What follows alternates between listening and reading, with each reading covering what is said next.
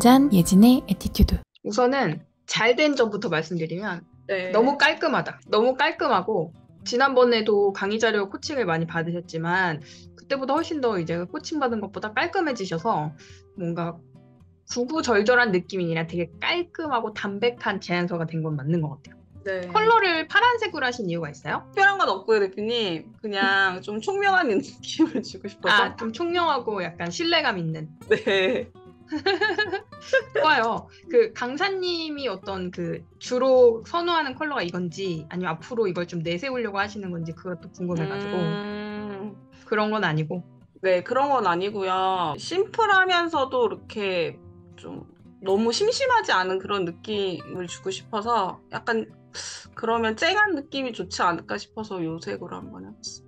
음, 좋은 것 같아요. 저는 그, 뭐, 물론 사실 컬러가 주는 힘도 있거든요. 네. 그래서 이 컬러에서 오는 느낌이라는 게 있잖아요. 그래서 여쭤봤고, 네. 강사님의 메인 컬러가 있다면 그걸로 하는 게 당연히 맞고, 음, 제 인스타에서는 메인 컬러가 되게 연한 노란색이에요. 근데 그런 건좀 제안서랑 이미지랑 안 맞는 것 같아가지고 아, 그 컬러는 그냥 제가 버리고 어, 좀 요런 컬러로 가면 어떨까 싶어서 한번 해봤어요. 뭐 그래도 되고, 저는 컬러도 하나의 정체성이라고 생각하기 때문에, 음, 강사님 인스타에서는 그, 저도 느꼈을 때 그 약간 노란색 병아리 컬러 네, 느낌이 네. 나거든요. 네. 그러니까 그거를 사실 넣어도 음, 무관하고 거기에 포인트 음, 컬러로 이런 이 파란색이랑 아. 잘 어울리거든요. 음, 배경을 그런 노란색에 이것도 사실 네. 잘 어울리는 조합이기 때문에 음, 괜찮을 것 같고 그리고 만약에 우리가 기업이나 기관에 제안을 한다고 가정했을 때는 네.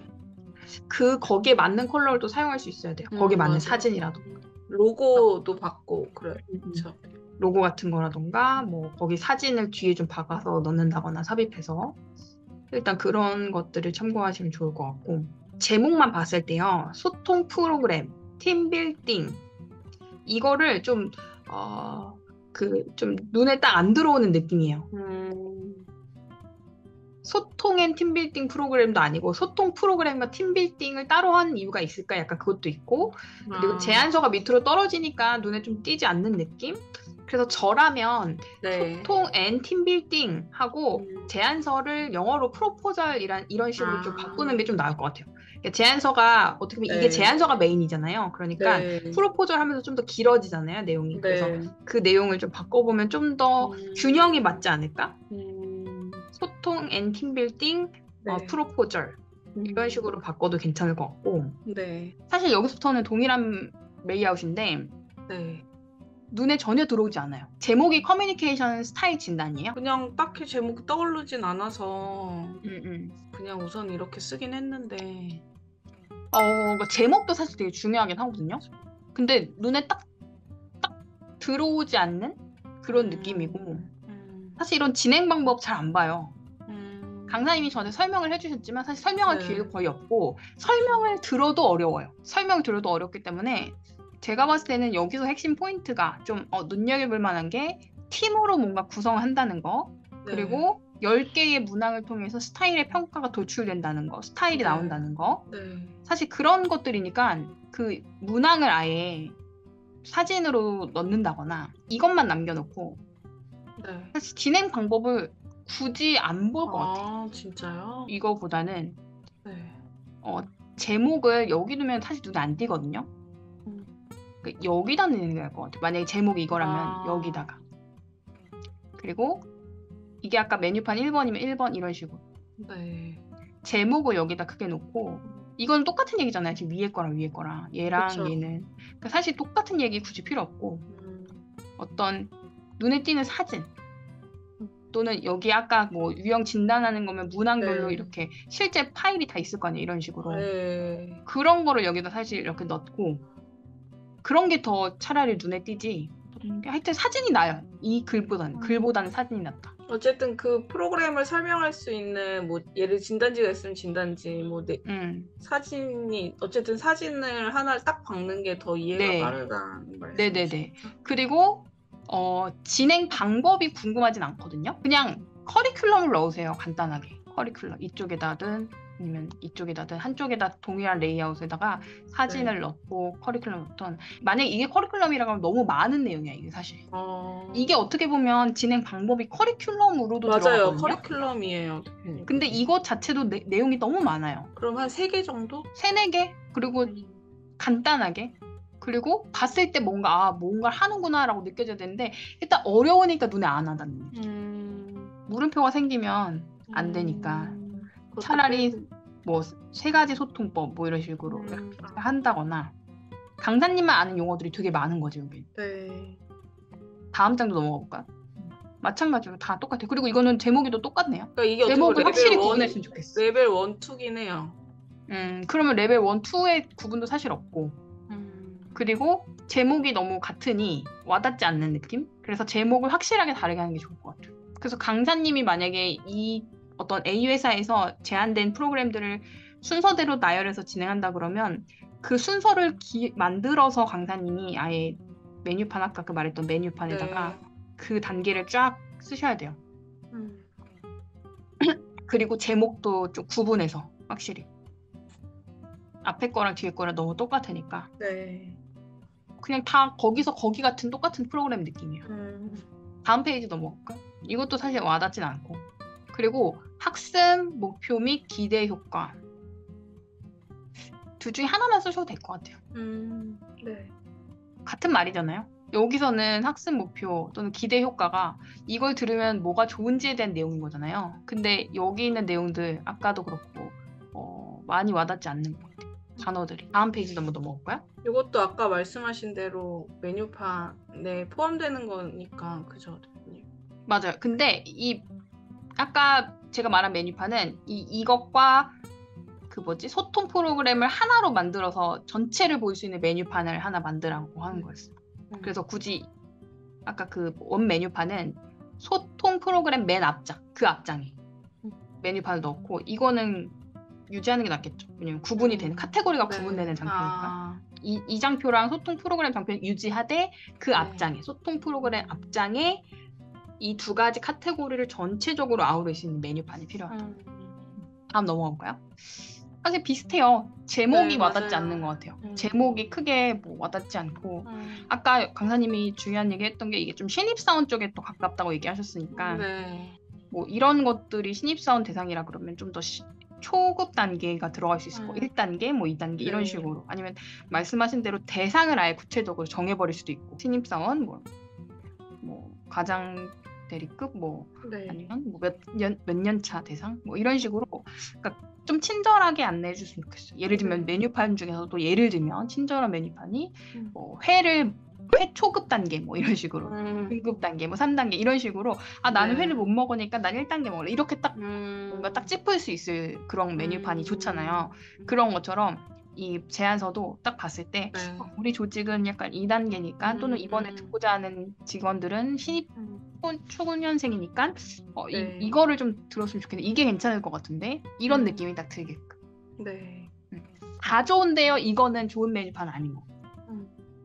그러니까 네. 사장님한테 사장님 여기 뭐가 제일 잘 나가요? 라고 물어봤을 때 저희는 다 잘 나갑니다 이러면 음. 다 별로인 것 같은 느낌이 들 수도 있을 것 같아요 근데 어 저희는요 다 좋지만 그 중에서도 뭐 예를 들면 우리 대- 고객님이 어떤 류 좋아하세요? 아 그러면 이 류는 이게 제일 잘 나갑니다. 이렇게 딱꼭 집어주면 신뢰가 가죠. 아 여기는 이 메뉴가 제일 인기가 많고 네. 이런 느낌이 들어야 될 것 같아요. 아니면 대표님 저도 이걸 하면서 약간 소통이랑 팀빌딩이랑 막 이렇게 딱뭐 이렇게 이어지는 느낌은 아닌데 이두 개를 같이 하나에 담는 게 맞나 이 생각 들기는 했거든요. 오 저는 관계 없을 거 없어요? 각각 따로 노는 게 더 이상하지 않아요? 그래요? 음. 음. 오히려 같은 맥락인 것 같긴 한데 음. 결국 화합, 소통 네. 이런 느낌이기 때문에 아, 관- 괜찮을까요, 그럼? 음, 음, 음. 음. 같이 노는 게 맞는 것 같아요. 그래서 다음 장도 보면은 네. 이건 또 주요 아. 내용이네. 방법이 아니고. 어떻게 보면 일단 다 바꾸세요. 왜냐면 제목도 up and down 워크숍, 뭐 어렵죠. 워크숍 어, 와닿지 않아요. 음. 어려운 건 아닌데 와닿지 아, 않는 와닿지 느낌? 않는. 네, 와닿지 않으면 사실 안 보거든요. 음. 무슨 뭘 up and down 한다는 거야? 몇 단계 몇 단계 이렇게 차라리 하는 게 낫지. 아, 예. 각각의 제목이 네. 들어가면 눈에 들어오지도 않을 뿐더러 음. 와닿지도 아. 않는 느낌? 그럼 굳이 제목을 만들지 않고 그냥 레벨 1, 2 이렇게 해도 된다는 말씀이에요? 그쵸.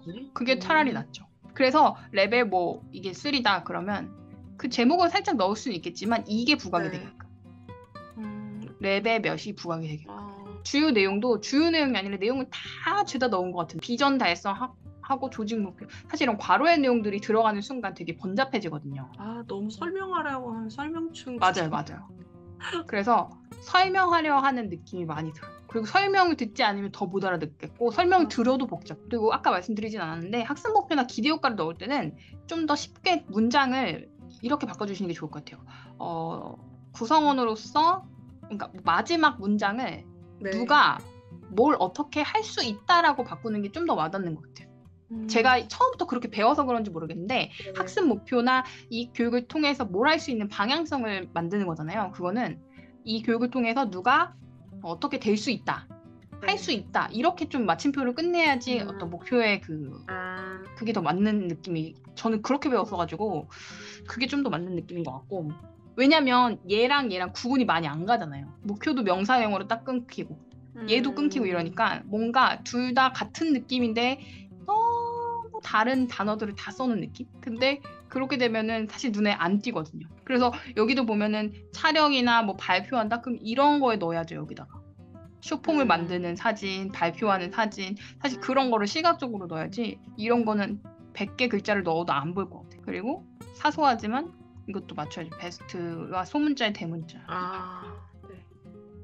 그리고 어떻게 보면은 이런, 이런 연습을 좀 하실 필요가 있을 것 같아요. 이런 주요 내용을 작성할 때는 최대한 간추려서. 다음 장 한번 넘어갈까요?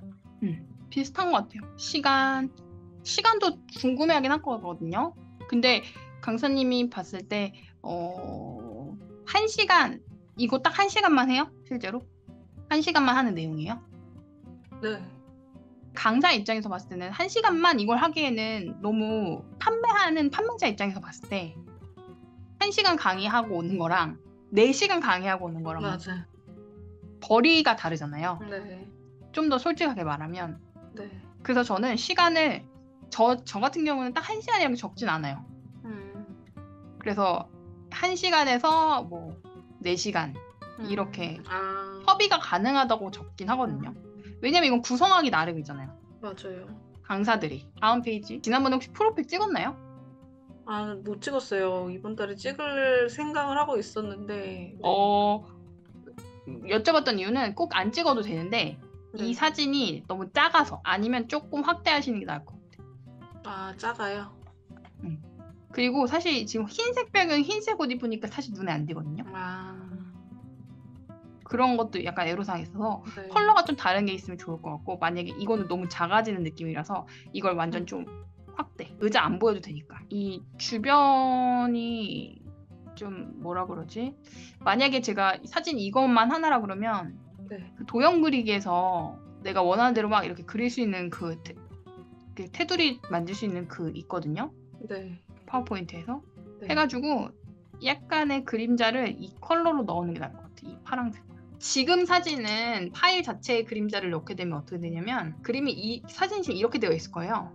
네. 파일이. 그러니까 그림자 넣게 되면 여기에 떠요. 그래서 그쵸, 그게 그쵸. 아니라 제가 말하는 건그 네. 도형에서 그림 막- 직접 음. 그리는 거 있어요. 이거를 강사님 따라하는 거지. 아, 그냥 잘 이쁘게 안 따도 되니까 네. 따가지고 이 강사님 모형대로 네. 그리고 얘도 그 실제로 그 눕기를 따세요. 얘 배경 배경 지금 눕기 딴 거죠. 네. 네, 그러면 상관없어요. 그래서 얘를 이 색깔로 채워가지고 왜냐면 좀 통일성 있게 하려고 하는 거고 얘랑 지금 구분이 안 되니까 음. 중요한 건 아니에요. 그냥 네. 그렇게 하면 좀 좋겠다라는 생각이 들었어요. 음. 얘를 좀 확대 여기까지만 나와도 돼요. 프로필을 맨 뒤에 놓는 게 나을까요? 저는 이걸 앞에 넣었으면 좋겠어요. 왜냐면 맨 뒤에 넣으면 안 볼 확률이 좀 크고요. 아, 프로그램부터 안 볼 거거든요. 그러면 맨 뒤에 있다 그러면 이 프로필 자체가 이제 안 봤거나 skip할 가능성이 좀 높을 것 같아. 그래서 뭐 아까 뭐가 좋은데 그 페이지 그래서 누가 강의라는데 음. 거기에 이걸 넣었으면 좋겠고 그리고 마지막에 견적서 음. 그리고 마지막 페이지에는 어떤 마무리 장표. 아 마무리 장표. 음, 견적서 그다음 마무리 장표. 음, 뭐 그냥 뭐 슬로건식으로 뭐 이런 음, 멘트 음. 하나 이렇게 넣어서. 음, 어떤 뭐 기사와 기사의 네. 어떤 뭐 소통에 뭐 어떤 뭐 함께 하겠다 뭐 음. 이런 식으로. 그리고 사소하지만 정렬 아, 여기 정렬 이런 것들 맞추는 것도 필요할 것 같고 아 네. 사실 여기도 다 안 맞거든요. 이 앞에 앞에 보면은 여기 시작하는 위치 아 다 달라요. 그리고 앞에 프로그램 쪽 하나 하나만 아무거나 가볼까요? 이거에서 보면 얘 위치가 위치가 쏠려 있는 거 보이세요? 아 옆으로 장. 얘랑? 얘랑 음. 이런 것들도 그냥 맞추는 게 좋을 것 같아요. 가운데 네. 정렬하던 아니면 아예 왼쪽으로 붙이든. 아 네. 근데 이제 사진이랑 이런 거 넣으면 또 달라지겠지만 지금 봤을 네. 때는 애매한 위치에 지금 위치되어 있어. 요 음, 이거 오늘 한 내용들만 바꿔도 많이 바뀔 것 같은데요? 엄청 많이